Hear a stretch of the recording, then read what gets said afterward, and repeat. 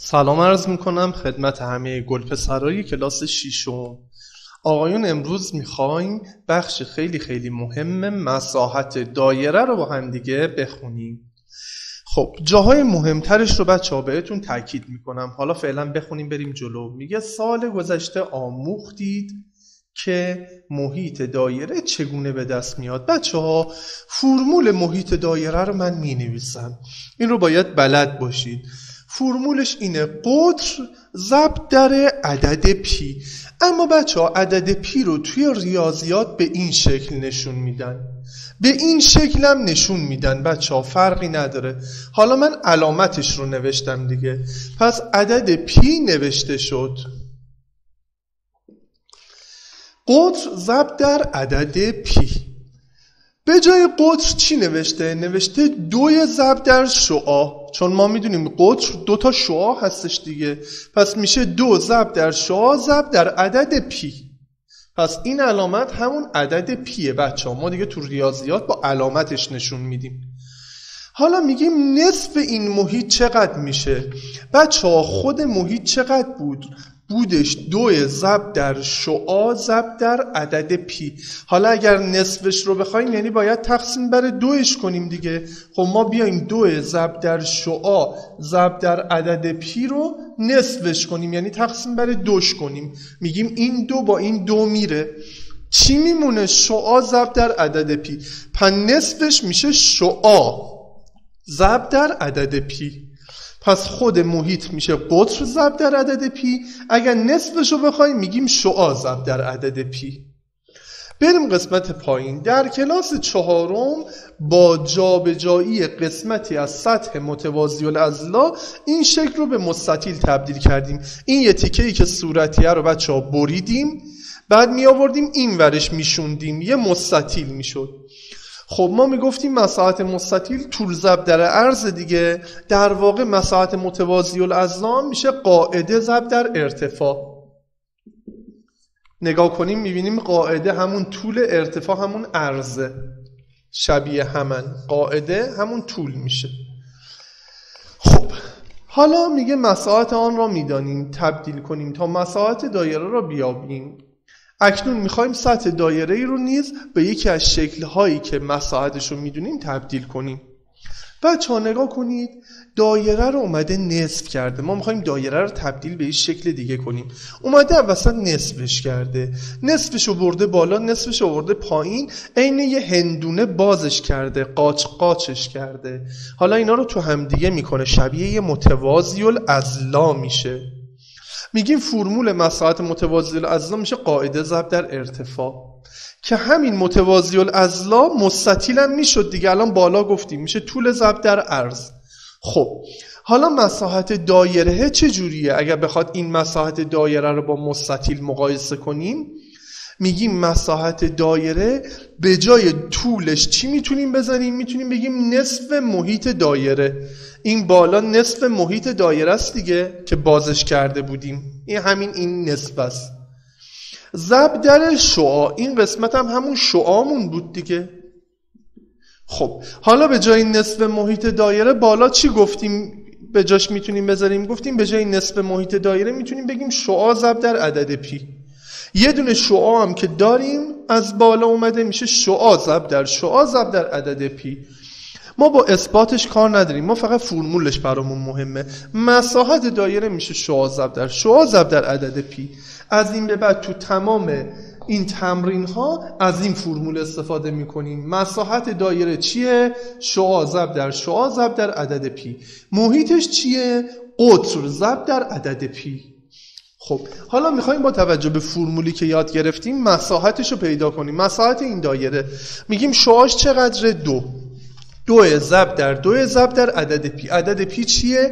همیشه سه ممیز چهاردهه خب ضرب می‌کنیم. میگیم دو دو تا چهار تا چهار ضرب در سه ممیز چهارده میگیم چهار ضرب در سیصد و چهارده میشه. میشه 1256 اما چون دو رقم اعشار داره بهش دو رقم اعشار میدیم. میشه 12 ممیز 56 اما میگه تقریبی بگو چقدره. تقریبی ما بخوایم حساب کنیم مثلا میگیم این دوازده تاه ممکنه تو شمردن خورده هاشو نتونیم حساب کنیم دیگه. میگه با چیکار کردن مربع ها اندازه ها دقیق میشه؟ ما گفتیم با کوچک کردن واحدمون یا همون کوچک کردن مربع هامون. خودش این قسمت کلمه کردن رو نوشته. ما فقط نوشتیم کوچک. با کوچک کردن مربع ها اندازه ها دقیق میشه. اینو ما می‌دونیم. بریم سراغ تمرین بعد. مساحت دایره روبرو تقریبا چند برابر مساحت مربع؟ خب اول جفتشو به دست بیاریم. مساحت مربع میشه یک زل ضرب در خودش. ده ده تا صد تا. اما مساحت دایره میشه شعا ضرب در شعا ضرب در عدد پی. میگیم ده ده تا صد تا صد ضرب در 314ش می‌کنیم. میشه 31400 بعد دو رقم اعشار بهش میدیم. خب حالا این صفرها و اعشار رو پاک می‌کنیم. میشه 314 314 چند برابر صده؟ میگیم تقریبا سه برابرشه. از سه برابر یکم بیشتره ها. اما گفته تقریبی بگو. اجسامی مثل لیوان و بشقاب و غیره رو که سطح دایره ای دارن به کلاس بیارید. خب ما دیگه نمی‌تونیم امسال در خدمتتون باشیم. اما شما این کار رو خونه انجام بدید. جسم هایی رو نام ببرید شعاع و مساحت و واحدشون رو هم خودتون انجام بدید. پس این قسمت رو خودتون در خانه به کمک بزرگترهاتون انجام بدید. عدد پیرم گفته سه در نظر بگیر. بچه گلم بعضی موقع ها مسئله میگه عدد پی رو سه بگیر. اما اگر هیچی نگه یعنی ما باید عدد پی رو سه ممیز چارده بگیریم. بچه ها این عدد فوق العاده طولانیه هیچ وقت تموم نمیشه. عدد اصلیش تو آخرین آخرین صفحه کتابتون هست. سه عدد ممیز چارده پونزده 92 65 35 بازم ادامه داره ها. بی نهایت ادامه داره. تموم نمیشه. اما ما تا دو رقم اعشارش رو بیشتر استفاده نمی کنیم تا دانشگاه هم شما از سعد از صحیح و 14 استفاده می‌کنید. بیشتر از اونش دیگه به دردمون نمی‌خوره. اما فعالیت. این قسمت خیلی مهمه. می‌خواهیم مساحت قسمت های رنگ شده رو پیدا کنیم. ما این سه تا شکل رو می‌خواهیم مساحتاشون رو بچه ها با هم دیگه انجام بدیم. اما خواهشی که دارم به نکاتی که خودم میگم توجه کنید. به توضیحات کتاب اصلا کاری نداشته باشید. ما با این بخش اصلا کاری نداریم. چون این بخش توضیحات همین سه تا شکله. صفحه بعد رو هم نگاه کنید بچه ها این قسمت رو هم کاری نداریم. من توضیحاتی که میدم توضیحات خودم رو گوش بدید. به این بخش کتاب کار نداشته باشید. ما الان می‌خوایم بریم توی یه صفحه ای این ستا شکل رو حل کنیم. این قسمت هایی هم که ضرب در زدن می‌خواد توضیح همین ستا شکل رو بده ها. اما من با توضیحات خودم میرم جلو. اینجا رو نگاه کنید بچه ها اولین شکل این بودش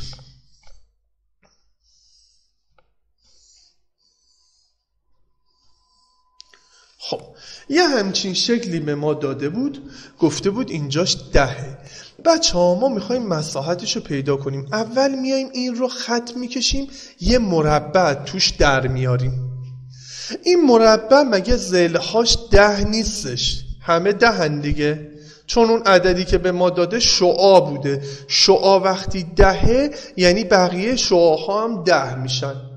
پس این مربع ده در دهه یعنی ده ده تا صد تا. این شد مساحت چی؟ مربع. حالا بچه ها این چارتایی که توشون زب در می‌زنم اگر بیان بیرون به هم بچسبن یه دایره رو تشکیل نمیدن. میگیم چرا؟ نگاه کنید این قسمت میاد اینجا رو پر می‌کنه. این یکی قسمتمون میاد اینجا رو پر می‌کنه. این قسمت. اینجا رو پر می‌کنه این بالایی هم میاد اینجا رو پر می‌کنه. یعنی اگر اینها رو بچرخونیم این چارتا رو بچسبونیم به هم یه دایره میشن. شعاشون هم دهه. میگیم شعا زب در شعا زب در عدد پی. میشه 314 این چهارتا رو هم میشن 314 یه صد تا هم وسط داشتیم. 314 با صد که جمع بشه میشه 414 یعنی مساحت کل شکلمون شده 414 بریم شکل بعدی. شکل به این حالته. یه مربع داریم. بچه ها این لوزی نیست در جریان باشید که این لوزی نیستش. خب گفته مساحت قسمت رنگی رو به دست بیار. بچه ها ما می‌خوایم چیکار کنیم؟ ما می‌خوایم مساحت کل رو به دست بیاریم بعد قسمت های خالی رو از توش کم کنیم. مگه اینجا رو نگفته ده؟ نصف زل مربع پس نصف دیگهش هم دهه. یعنی یه زلش میشه بیست. پس میگیم بیست ضرب در بیست یک زل ضرب در خودش. میشه مساحت کل مربعمون. مساحت کل میشه 400 یک زلش 20 حالا این چهارتا رو میاریم بیرون به هم میچسبونیم. عین تمرین قبلی یه دایره میشن. اما شعاشون چقدره؟ شعا مگه نگفتیم دهه؟ خود کتاب به ما گفته شعا دایره ده دیگه. خب پس میگیم شعا زب در شعا زب در عدد پی. میشه 314 اینا میشن اون چهار تا خالیامون. یعنی مساحت قسمت خالی. خب ما 400 تا کلمونه 314 تا این خالیا رو هم دیگه میشن 314 میگیم از 400 تا 314 تاشو کم می‌کنیم میمونه 86 تا که مربوط میشه به قسمت رنگیمون. پس ما کل رو پیدا کردیم چهار تا خالیا رو که یه دایره رو تشکیل می‌دادن به دست آوردیم ازش کم کردیم. بریم تمرین آخریش. خب اینو دقت کنید بچه ها یه دونه مربع داریم یه دونه این حالت گل مانند برگ گل وسطش داریم. این برگ گل رنگی شده. میگه مساحتش رو پیدا کن. خب بچه ها نگاه کنید ببینید من چی رو دارم به دست میارم. این قسمتی رو که الان من با رنگ قرمز می‌کشم نگاه کنید. این قسمت. این قسمت چیه بچه ها یه یک چهارم دایره است. نگاه کنید. دقیقا این قسمتی که من با قرمز نشون دادم این بخشه.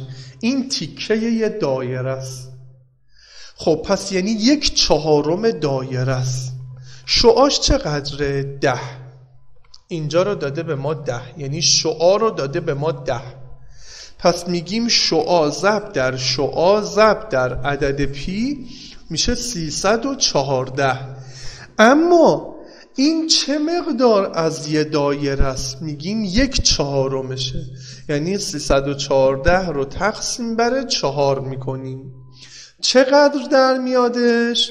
هفتاد و نیم در میادش بچه ها خب پس شد هفتاد و هشت و نیم. این قسمتی که من با قرمز دارم می‌کشم بچه ها اما کل شکلمون مگه یه مربع نیستش؟ مربع چند در چنده؟ یک زلش ده دیگه یک زل ضرب در خودش میشه صد. یعنی کل شکل صد قسمت هایی که من با قرمز رنگ کردم هفتاد و هشت و نیمه.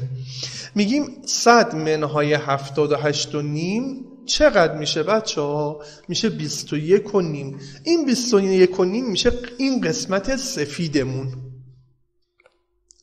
این قسمت سفیدمون شد 21 و نیم. یعنی از کل که صده 78 و نیم تا رو که قسمت قرمز بود کم کردیم. خب این قسمت سفید 21 و نیمه. پس اون یکی قسمت سفیدمون هم 21 و نیم بوده. یعنی 21 و نیم. با 21 و نیم جمع میشه. میشه چقدر بچه ها؟ چهل و سه تا. یعنی این دوتا سفیدا با همدیگه میشن چهل و سه. من اینجا رو یه ذره پاک می‌کنم که خلوت بشه. این دوتا سفیدامون رو همدیگه شدن چقدر؟ چهل و سه تا. این ور بیست و یک و نیم اون ورم بیست و یک و نیم. خب مگه کل صد نبود؟ دوتا سفیدا رو هم شدن چهل و سه تا. این قسمت سفیدمونه. خب پس میایم میگیم صد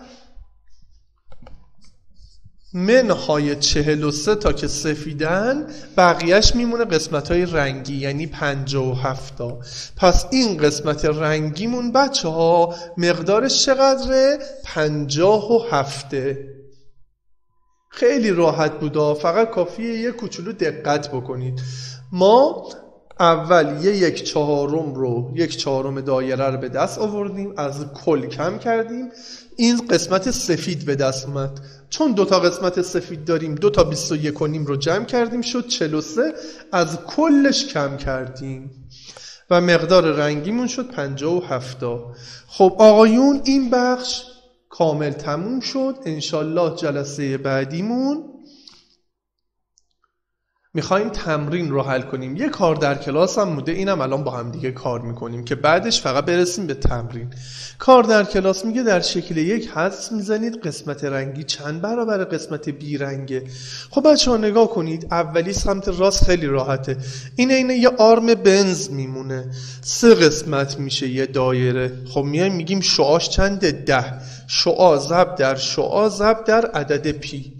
میشه 314 اما ما چقدرش رو می‌خوایم یک سومش رو یعنی تقسیم بر سه اش می‌کنیم 314 رو تقسیم بر سه می‌کنیم. میشه 104 ممیز 6 پس قسمت رنگیمون شد 104 ممیز 6 این برای شکل دومون بود من نوشتم بچه ها شکل یکمون هم می‌خوایم بنویسیم.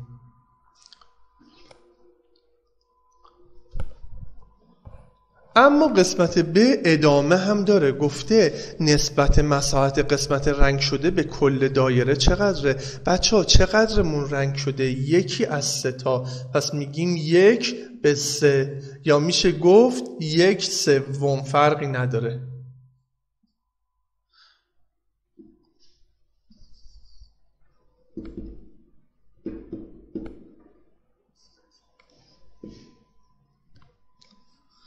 خب پس می‌شد گفت یا یک به سه یا یک سوم. مقدار قسمت رنگیمون هم در من 104 ممیز 6 اما تمرین یکه رو که مربوط به قسمت الف میشه میریم توی صفحه دیگه حل می‌کنیم. پس اینی که الان ما حل کردیم مربوط به قسمت ب بود بچه ها هم قسمت رنگ شده رو مساحتش رو به دست آوردیم هم نسبتش رو گفتیم. میریم این ور شکلمون چی بود؟ به این حالت بودش. یه دایره که توش یه دایره خالی داریم. عین این شیرینی ها میمونه این پیراشکی میمونه بچه ها وسطش خالیه. از اینجا تا اینجا ده از اینجا تا اینجا هم ده. خب میایم میگیم دورش رو می‌خوایم به دست بیاریم. کل رو به دست میاریم بعد قسمت خالیش رو کم می‌کنیم. فکر کنید این کلش یه دایره است. شعاش چقدره؟ میگیم ده و ده میشه بیست. پس میگیم شعا زب در شعا زب در عدد پی. میگیم 20 20 تا 400 تا. زب در سه ممیز 14 می‌خوایم بکنیم. در میاد 1256 حالا اون این برای کلمونه دایره بزرگمونه. حالا می‌خوایم دایره سفیده تو رو ازش کم کنیم. یعنی ده زب در ده زب در عدد پی چون شعاش ده دیگه. میگیم میشه 314 این قسمت خالیشه. پس هم دایره کامل رو پیدا کردیم هم قسمت خالی رو پیدا کردیم. حالا قسمت پرمون قسمت رنگ شدهمون چقدره؟ میگیم 1256 منهای 314 میشه. جواب میشه 942 این قسمت رنگی مونه پس من هم مساحت قسمت خالی رو پیدا کردم هم کل رو پیدا کردم هم رنگی رو پیدا کردم. تو قسمت الفمون می‌گفت قسمت رنگی حدوداً چند برابر قسمت بیرنگمونه. خب قسمت رنگیمون بود 942 حدودا چند برابر 314 میگیم حدودا سه برابرشه. پس جوابش میشه حدودا سه برابر برای قسمت الف. قسمت برم که توی همینجا انجام دادیم تو خود کتاب. اما قسمت پ میگه مساحت قسمت رنگی هر شکل رو پیدا کنید که ما پیدا کردیم بچه ها خب قسمت رنگی این پیراشکی هم 942 بودش. 942 پس بچه ها مساحت قسمت های رنگی رو پیدا کردیم نسبت ها رو هم گفتیم. تو الف می‌گفت قسمت رنگی چند برابر قسمت بیرنگه می‌شد سه برابر. تو قسمت ب هم گفته نسبت مساحت قسمت رنگی به کل شکل چقدر میگیم یک به سه یا یک سوم. آقایون خسته نباشید. انشالله جلسه بعد تمرین های فوق العاده مهم صفحه 100 و 101 رو با هم دیگه کار خواهیم کرد. تا اون موقع شما رو به خدای بزرگ میسپارم. خدا یار و نگهدار همتون باشه.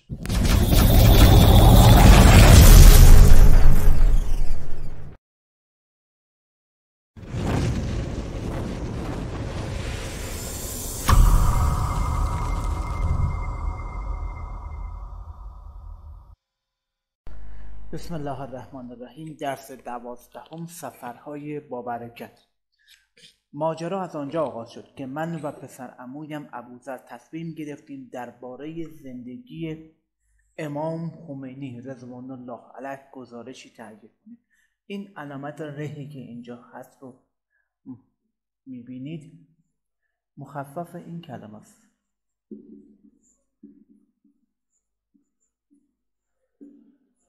تعالی. انا حرف اول و حرف آخر رو گرفتند و در اینجا گذاشتند من در یک روستا که نزدیک شهر خمینی است زندگی می کنم شهر زادگاه امام خمینی رضوان الله تعالی علیه. ابوذر هم در روستای دیگری زندگی می کند که به خمین نزدیک است. برای همین تصمیم گرفتیم گزارش خود را از این شهر آغاز کنیم. عراق قم تهران مقصدهای بعدی سفر ما خواهد بود. موضوع را با امورزا پدر ابوذر در میان گذاشتم. در میان گذاشتیم.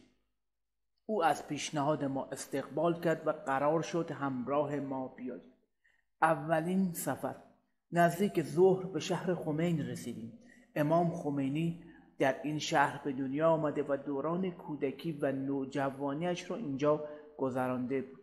صدای اذان ظهر به گوش رسید. اما رضا به من گفت شما نماز ظهر و عصر را چهار رکعتی بخوان اما من و ابوذر باید دو رکعتی بخوانم. تعجب کردم و گفتم چرا؟ امو گفت روستای شما نزدیک خمین است و فاصله آن تا خمین از بیست و دو نیم کیلومتر کمتر است. بنابراین نماز شما شکسته نمی شود. یعنی اون چهار رکعتی را نباید شکسته بخونه. اما فاصله روستای ما تا خمین از 22 نیم کیلومتر بیشتر است و نمازمان در اینجا شکسته است. یعنی باید نمازهای چهار رکعتی ظهر عصر و عشا را دو رکعتی بخونیم پس این حد شرعی ماست 22 و نیم کیلومتر. شما اگر از این فاصله بیشتر از شهری که توش زندگی می‌کنید عبور کنید باید نمازهای تمامی نمازهای چهار رکعتی که شامل ظهر عصر و عشا میشه رو به صورت شکسته بخونید تمامی نمازهای فقط چهار رکعتی شکسته خوانده میشن کاری به عشا و صبح ندارید چون اونها رو نمیشه به صورت شکسته خون. دومین سفر. سفر دوم ما به عراق بود. وقتی به آنجا رسیدیم به حوزه علمیه امام خمینی رفتیم و اتاق امام را پیدا کردیم. امام خمینی مدتی در این اتاق زندگی کرده و در آن حوزه علمیه درس میخوانده است. نزدیک ظهر که شد امورزا گفت هر سه باید نماز ما را شکسته بخوانید. چرا؟ چون هر سه نفرشون از 22 نیم کیلومتر بیشتر رفتن. فاصله روستای متارک از 22 نیم کیلومتر بیشتر بود و قصد نداریم ده روز هم بمونیم. پس یک این که شد 22 نیم کیلومتر دومی مورد ده روز. اگر شما قصد کنید ده روز در یک جا بمونید نمازها رو باید به صورت کامل بخونید. اگر قصد ندارید ده روز بخونید باید بمونید. قصد باید نماز رو به صورت شکسته به جای بیارید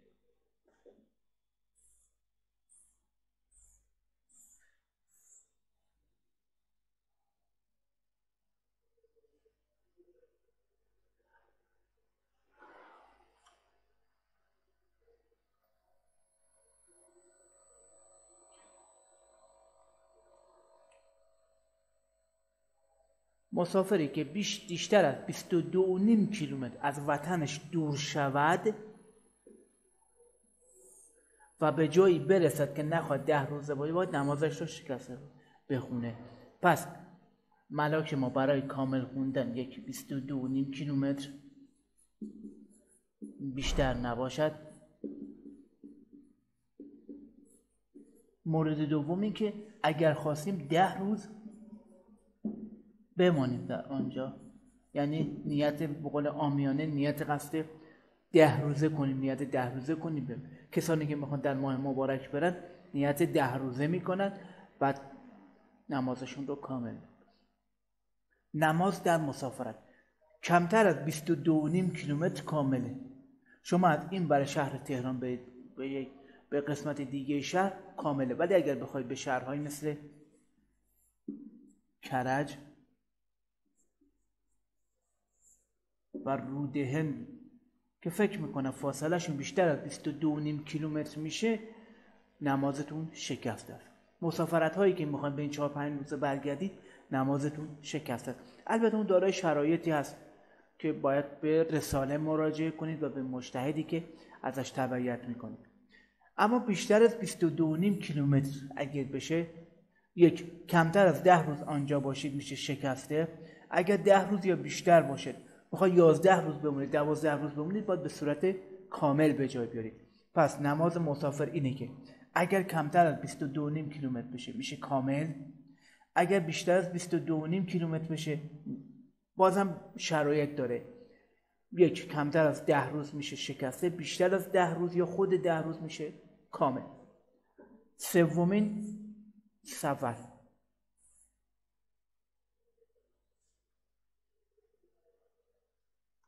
سومین سفر. ماه رمضان فرا رسیده بود.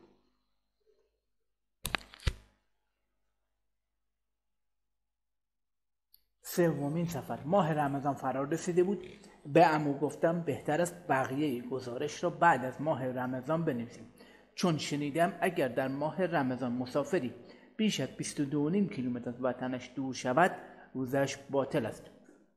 امو لبخندی زد و گفت درست است. اما به زمان سفر یعنی شما چه ساعتی را بیفتید صبح یا ظهر؟ و مدت اقامت. همین مدت اقامتی رو که اینجا اعلام کرده کمتر از ده روز یا بیشتر رو رو هم بستگی داره مد نظر داره. اگر قبل از اذان ظهر حرکت کنیم روزه ما باطله. ببینید همینجوری که در اینجا اشاره کردم اگر ما تو ماه مبارک رمضان قبل از ظهر حرکت کنیم روزمون باطله. اما اگر بعد از ظهر یعنی نمازمون رو بخونم راه بیفتم روزه آن روز صحیح است.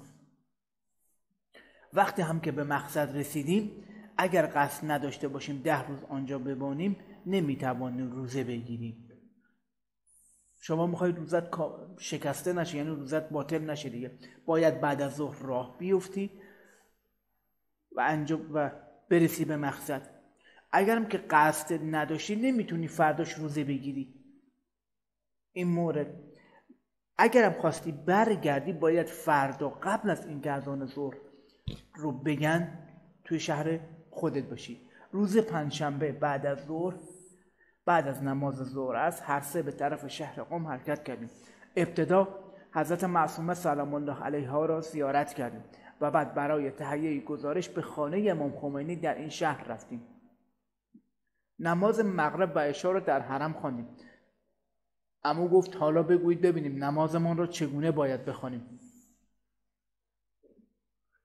گفتم نماز مغرب سرکتی همونجوری که قبلا گفتم شکسته نیست و هیچ وقت شکسته خوانده نمی‌شود. اما هر سه نفرمان باید نماز عشا رو شکسته بخونیم چرا؟ چون نماز عشا چهار رکعتیه امو گفت آفرین می‌بینم که احکام نماز مسافر را خوب یاد گرفتید. بعد از نماز افتار کردیم و شب به طرف خمین و روستهایمان حرکت کردیم. در راه به امو گفتم سفر کوتاهی بود. ای کاش تا ظهر قوم میماندیم و برای افتار به خمین باز میگشتیم.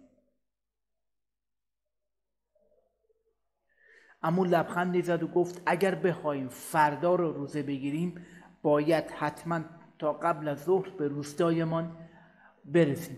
زیرا مسافری که قبل از ظهر به محل زندگیش برسد روزش درست است. یعنی اگر قبل از ظهر به روستای خودت به محل زندگی خودت برسی درسته؟ اما اگر بعد از ظهر برسد نمی‌تواند آن روز رو روزه بگیرد. پرسیدم اگر کسی به خاطر مسافرت نتوانست چند روز روزه بگیرد باید چیکار کند؟ اما گفت بعد از ماه رمضان باید غذای آن رو به جای بیاورد. یعنی به جای اون روز هر روز یه روزش رو بگیره. یعنی به تعداد روزهایی که روزه نگرفته است رو روزه بگیرد. ببینید بچه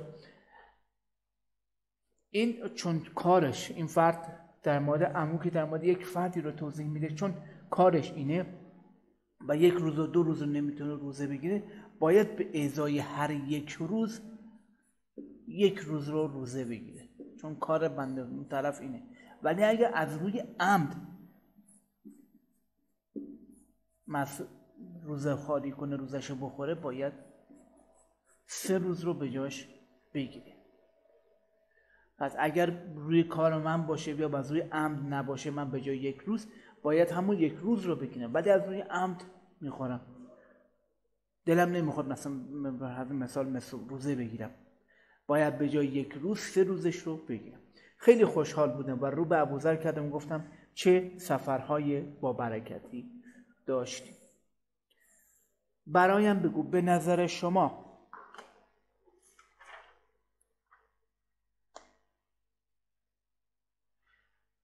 چرا این درس سفرهای با برکت سفرهای با برکت نام گرفته است؟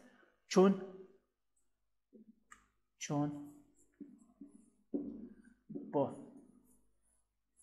احکام نماز و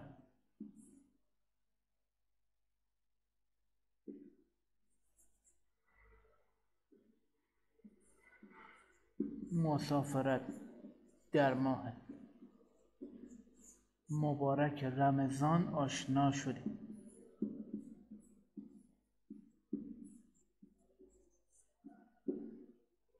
ایستگاه فکر عاطفه به همراه خانوادهش برای زیارت مرقد امام علی علیه السلام به نجف رفتن. پس مرقد ملکوتی امام علی در شهر نجف و قصد دارند سه روز در آنجا بمانند. آنها کدام یک از این نمازها را باید کامل و کدام را باید شکسته بخون با عنوان تکلیف برای من ارسال بفرمایید.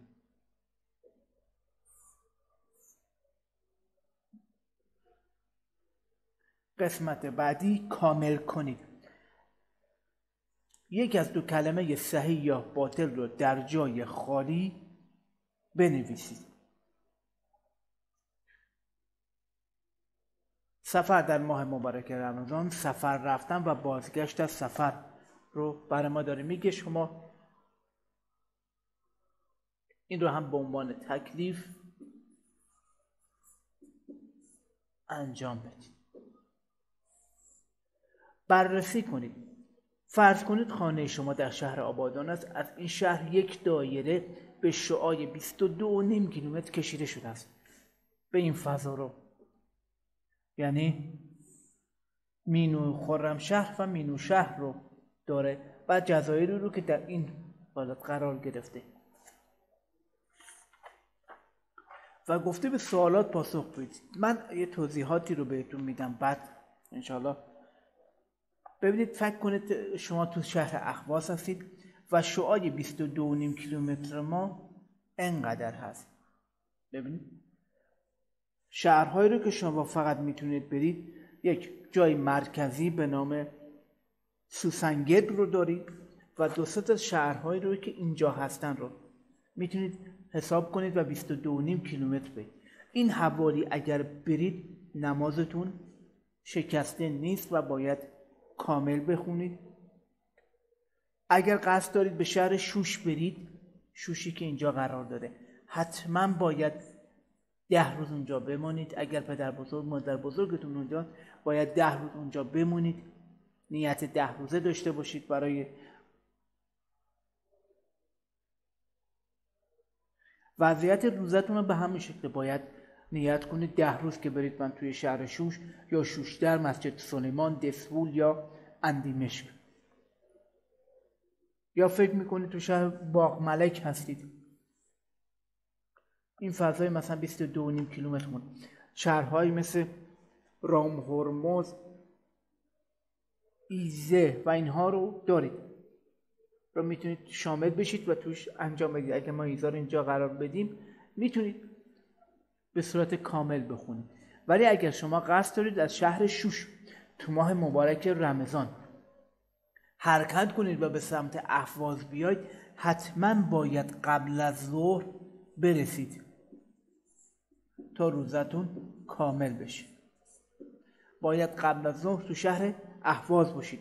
یا شما از شهر آبادان تصمیم گرفتید برید احواز در ماه مبارک رمضان. اگر قصد دارید روزه اون روز بگیرید باید قبل از اذان ظهر کجا باشید؟ توی آبادان باشید. به قول معروف باید مناره های شهر رو تا قبل از ظهر ببینید. توی شهر.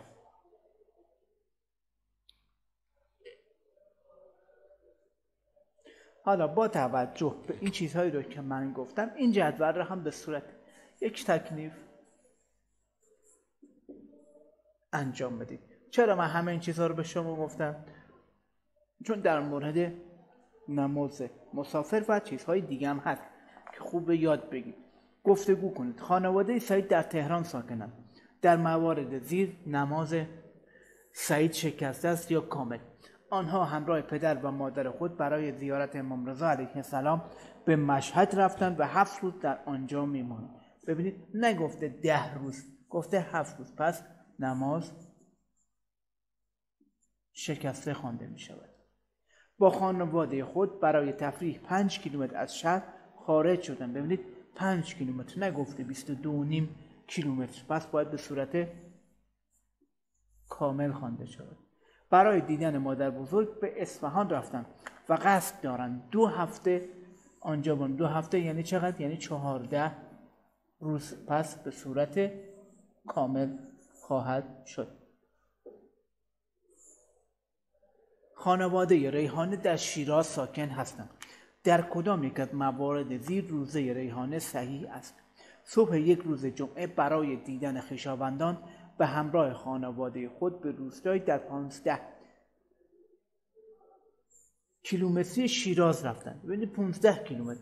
حد نصاب ما چقدر؟ 22 نیم کیلومتر. پس به صورت کامل و نمازشون هم صحیح است. با خانواده خود در اولین روز ماه رمضان برای خواندن نماز ظهر است به سمت قم حرکت می‌کنند.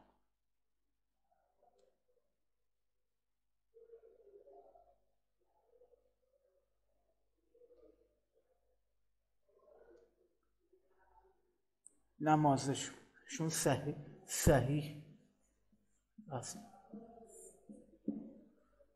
بعد از خواندن نماز ظهر و عصر ببینید اعلام کرده بعد از خواندن. حالا می‌خوان چون بعد از ظهر را افتادن درسته. توی درسم بهتون گفتم نماز ظهر و عصر رو بخونید بعد حرکت کنید. صبح روز بعد به قوم می‌رسن و تصمیم می‌گیرن دوازده روز آنجا بمانند. صحیح است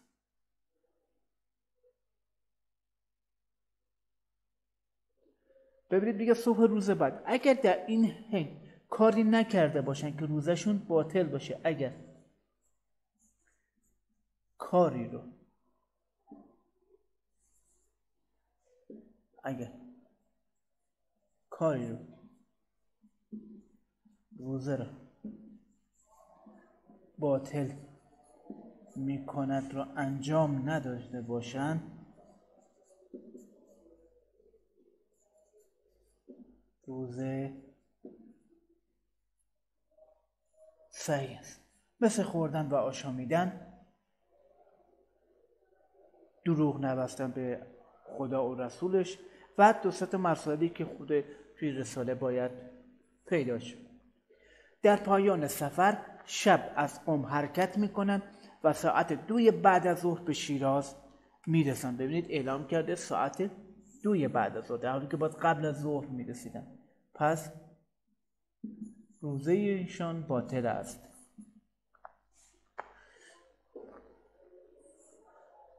تحقیق کنید در جهان مکانهایی هستند که در سفر با آنها می توانیم نمازمان را کامل حتی اگر کمتر از ده روز در آنجا بمانیم. آن مکانها کدامند؟ این تحقیق کنید رو انجام بدید به عنوان یک تحقیق ببینید چه مکانهایی هستن که ما می‌تونیم بدونه که ده روز اونجا نباشیم به صورت کامل رو به جای بیاریم.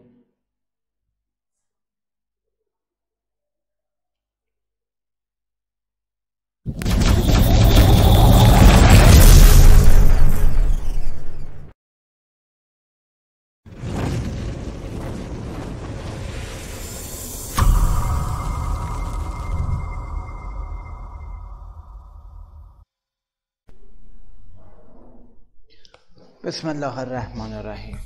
درس امروز ما در مورد لیلی هوزک است من متن درس رو می‌خونم بعد شما فیلم رو ببینید و به پرسش ها جواب بدید. چرا افراد در موقعیت های یکسان مانند هم عمل نمی کنند چون طرز فکر آدم ها فرق داره نسبت به هم دیگه. شما و برادرتون شما و همسالانتون شما با همکلاسیتون شما با پسرداییتون توافت ها و سلیقه های زیادی داره به همین خاطر است که تو موقعیت های مختلف عمل های متفاوتی انجام می‌دید چطور می‌توان درباره رفتار خود و دیگران قضاوت کرد؟ در صورتی که بتونیم مشاهده کنیم و بتونیم دلیلش رو حتما بفهمیم. برای چه دلیلی این فرد این کار رو انجام داد؟ چطور می‌توان بر دیگران تأثیر گذاشت؟ این راههای متفاوتی وجود داره بچه ها با رفتار با کردارتون با عملتون با سخنانتون می‌تونید فرد رو تأثیر قرار بدید. در این درس شما با مشاهده فیلم لیلی هوزک درباره وقایع داستان علت وقوع آن علت وقوع آنها و رفتارهای متفاوت نسبت به آن گفتگو می‌کنید. در این گفتگوها مهارت های تفکر به خصوص توانایی استدلال شما پرورش مییابد. یعنی که استدلال دلیل یافتن آوردن دلیل برهان این کاری رو که انجام می‌دید. فیلم براتون به نمایش در میاد بچه ها و در بعد اینکه فیلم رو دیدید به پرسش های زیر پاسخ بدید. در این فیلم چه دیدید؟ در پاسخ به این پرسش درباره ویژگی های شخصیتی حیوانات روند وقایع تغییرات نمادها جزئیات صحنه های فیلم گفتگو کنید هر چیزی رو که اتفاق افتاد به طور خلاصه بنویسید. رفتار هر یک از حیوانات در موقع شنیدن درخواست کمک خروس چه بود؟ بز چگونه روی حیوانات اثر گذاشت. چگونه باعث تغییر هر کدام از حیوانات شد. چرا کمک خواستن خروس تأثیری در حیوانات نداشته رفتارهای هر یک از حیوانات این داستان شما را یاد چه رفتارهایی از مردم میاندازد. اما قسمتی که مهمتره. در این فیلم تلاش های برخی از موجودات برای نجات جوجه به نتیجه نرسید. حل مسئله زمانی ممکن است که حیوانات با هم همکاری کردند. یه چند مورد از همکاری هایی که ما آدم ها داشتیم. قیام مردم ایران علیه حکومت شاه.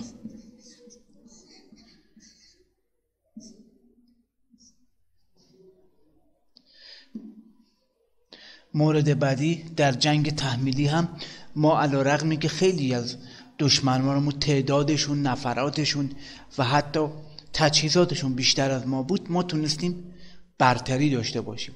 پس داشتن هدف مشترک یکی از ویژگی های هر نظام یا سیستمه فهمیدید که سیستم شامل یک سری عواملی هست که یک هدف که یک هدف رو دنبال می‌کنند پس داشتن هدف مشترک یکی از ویژگی های هر نظام یا سیستم است. شما تو جامعه ای که هستید یک هدفی دارید که جامعهتون به یک جامعه آرمانی و خوب تبدیل بشه.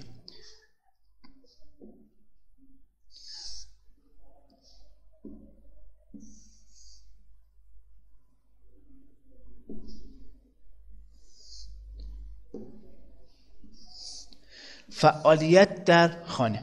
هر کس معیارهایی دارد و در هر موقعیت بر اساس معیارهای خود رفتار می کند و درباره رفتار خود و دیگران قضاوت می کند معیارها هر کس از منابع معتبر یا غیر معتبر کسب می شود این این منابع شامل افراد مانند اعضای خانواده، همسالان، معلمان، صاحب نظران و رسانه ها مانند کتاب، صدا و سیما، روزنامه ها و شبکه های مجازی و غیره است.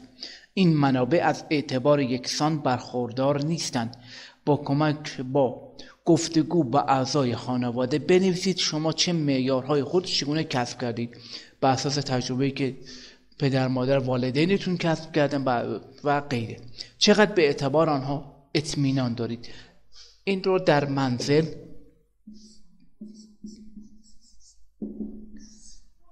انجام بدید.